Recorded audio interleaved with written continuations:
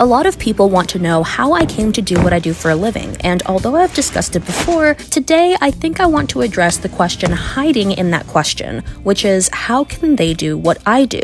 The first thing I'd say is every individual's path is different, and if you want to record yourself doing art and post it online, you should do it. It's fun, but I also want you to know going into it that social media is, much like our society, not a meritocracy. Working hard and being talented are only part of the equation.